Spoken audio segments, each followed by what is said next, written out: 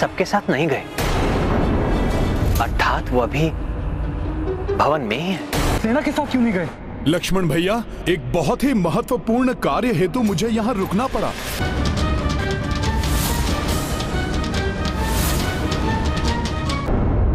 मुझे क्षमा करें प्रभु। हनुमान जितने बलवान हैं उतने बुद्धिमान भी हैं। यदि उन्होंने यमराज को राजभवन में देख लिया मैं सेना के साथ नहीं जा सका। यदि उन्होंने यमराज को राजभवन में देख लिया तो शीघ्र ही समझ जाएँगे कि यमराज क्यों आए हैं यहाँ पर। यदि हनुमान जी ने न जाने का निर्णय ले लिया तो मैं अपने उद्देश्य में कदापि सफल नहीं हो पाऊँगा।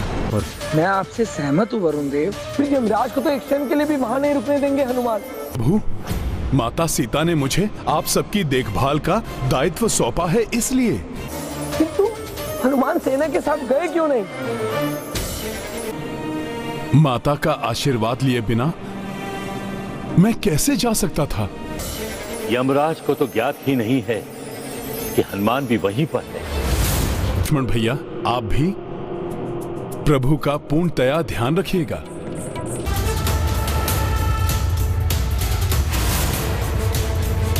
मेरी ही भांति आप भी प्रभु के कक्ष के बाहर सदैव उपस्थित रहिए। क्या हुआ। मैं आपको ही देखने जा रहा था। हनुमान जी। मैं भैया की परछाई की भांति सदैव इनके साथ रहूँगा। हनुमान जी यहाँ रुक कैसे गए? इन्हें ज्ञात तो नहीं हुआ कि मैं चिंता मत कीजिए हनुमान। नहीं हुआ कि मैं अब क्या करूँ? सर्वप्रथम तो मैं वनवास में मैंने जैसे भैया की सेवा की थी वैसे ही अब भी करूँगा। सर्वप्रथम तो मैं अपना रूप परिवर्तित कर लेता हूँ।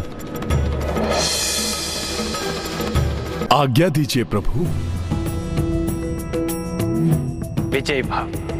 वचन देने के पूर्व उसके प्रत्येक पहलू पर अवश्य विचार कर लेना चाहिए। अन्यथा उसका भारी मूल्य चुकाना पड़ सकता है।